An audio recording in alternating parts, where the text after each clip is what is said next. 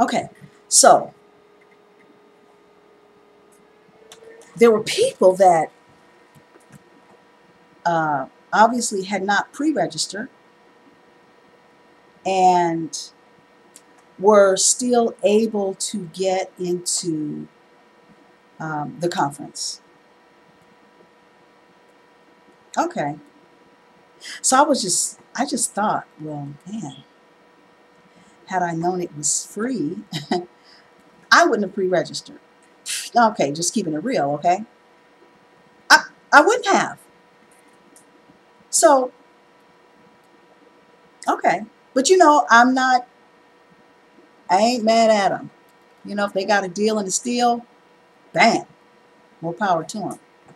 So, um, but I'm just saying, you know, I, I just wouldn't have, uh, I would have had a little extra money to, you know, give an offering. just kidding. Anyway, um, okay, so the pre-registration really wasn't necessary because you could have gotten in anyway. Okay, cool. So, um, and then I wouldn't have had to wait in that long line. You know what I mean? Now, had I known that people were going to get in free anyway, I probably would have been one of those um, people in the line doing the grocery store talk.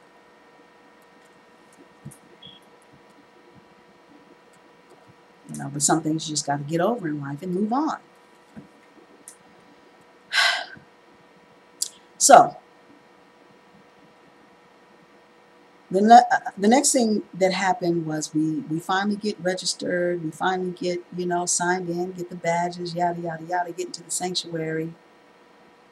And if I tell you that we had to wait another hour for the service to start, I wouldn't be exaggerating you know. But that was okay, you know, because that was time for me and my friend just to sit and chill and talk, you know, because we was tired anyway. We needed to be sitting down anyway because um, of that time we had spent in the line already. So we was, you know, we just chilling. So it's okay. We got to wait another hour even for the service to start. Okay, cool. So we're chilling. So, but I'm still a while I buying a Bynumite. If it had been two hours, I would have waited and been happy about it, right? So it finally starts, and you know, the singers come out, the worship team comes out, and they just blow the socks off of, you know, the whole church. You know, and then, you know, uh, Juanita Bynum finally finally comes out, and it's like, oh, there she is. So it was wonderful. It was it was wonderful.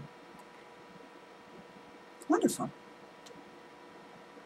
And if we could have just stopped that night, packed up my bags, and gone home, it would have been great. But I wanted to stay for the whole conference, right? Because I paid my registration. If I tell you that every single service was an hour to an hour and a half late, I wouldn't be exaggerating. But that's okay because we're working on that patience thing, right? Okay. Cool. So, you know, we're staying at a uh, at a hotel. It's about um, I, I want to say maybe it's about five miles away from the actual church where the conference was held. And so, you know, if you are if you got to come from where you are and it's a little bit of a distance, you know, then you have to get to where you're going and, and park, you know. And so, and, you know, the later you get there, you know, the less of a chance you're going to have uh, of finding a uh, close parking lot, uh, or, or, rather a close parking spot, you know. Um, and so you try to get there relatively early so that you don't have to park so far away and, you know, the whole nine. Well, so, you know, we're diligent and we're trying to get there and we're trying to be on time and we're trying to, you know, we don't want to miss nothing. And we're not trying to walk 10 miles either to get, you know. So we come so we can get, you know, kind of a decent spot to park and, and um, kind of a decent seat inside sanctuary. And you know what I mean? Kind of be in the flow of things so you don't just be on the late freight walking in there, things are halfway over, and you know, what, what's the use, right? So one morning we, uh, you know, we get up and to go to one of the services and, you know, trying to be timely and, um, for all those reasons I just stated. So my friend and I, we're walking toward the service. And so the closer we get to the church, we see that people are walking back the other way, leaving the church. So we know that we're we're on we're on time. We know that, you know, we didn't miss anything. So they're they're walking though away from the church, and we're walking toward the church. So we're the two of us are do do do do do do do do, and you've got these tons of people coming back our way, the opposite way.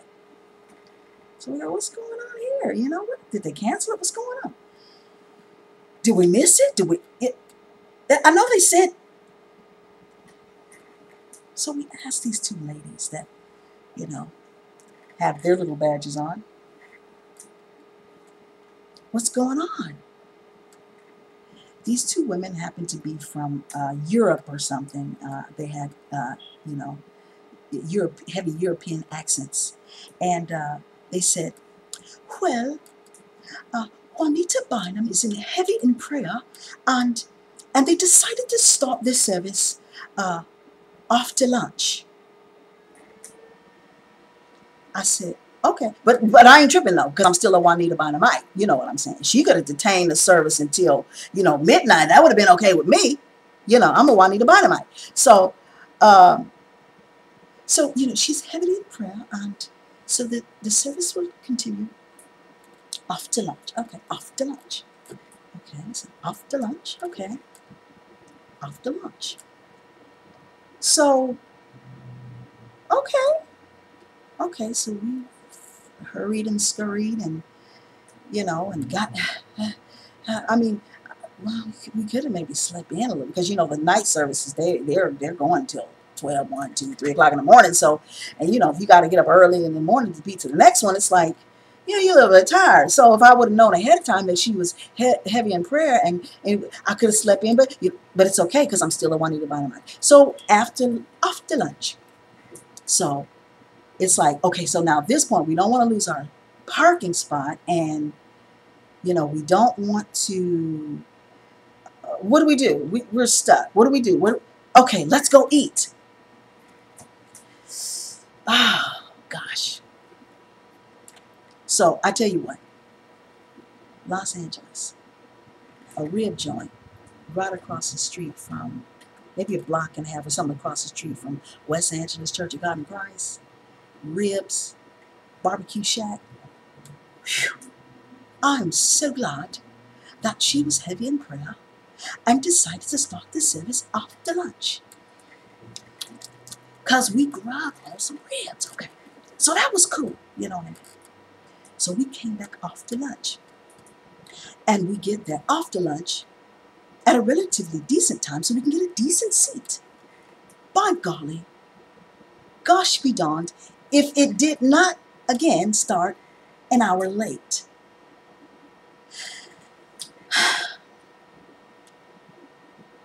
Okay, but you know, I ought to be used to it by now because it is what it is, right? But I got to be patient and deal with it because I don't want to sit in the balcony either. You know what I mean? That's just the price you pay. So, um, we go to a, uh, come back to the service after lunch and you know we go to sit down uh, and so we're seated we're seated we got our seats and we're you know we're ready.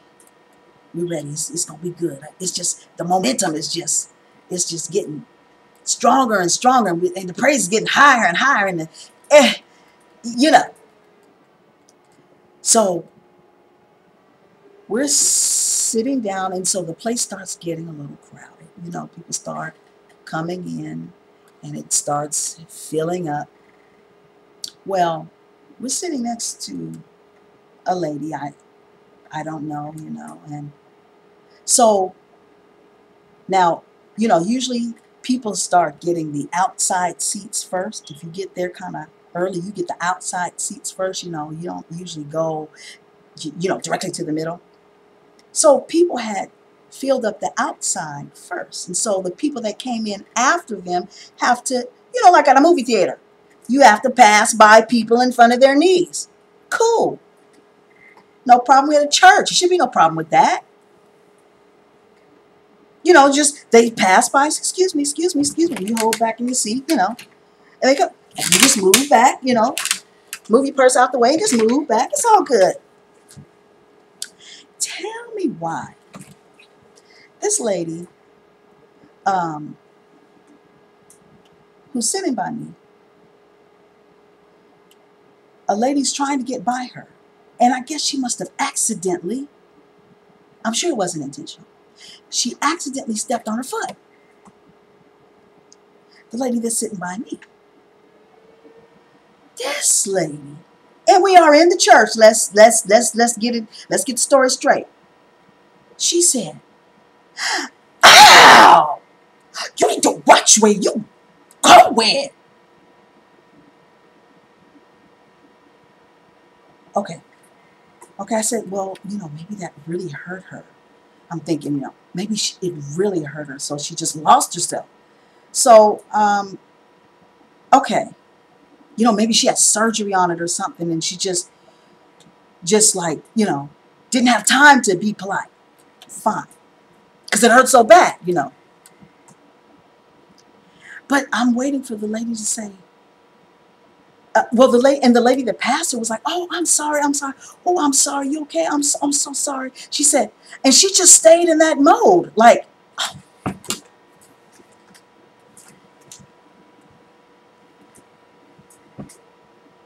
And I'm like waiting for her to get out of that mode, you know, because we're in church, you know. It's like,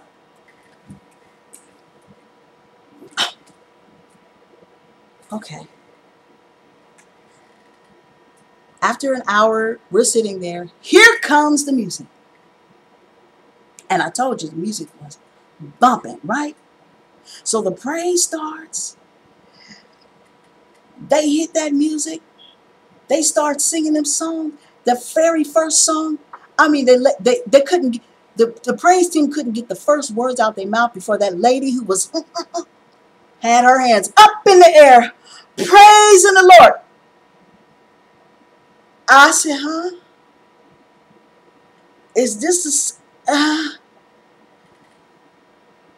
So I told my friend, we are moving. I don't care if we have to sit on the last seat in the balcony. I'm not sitting by this lady. Part three is on the way.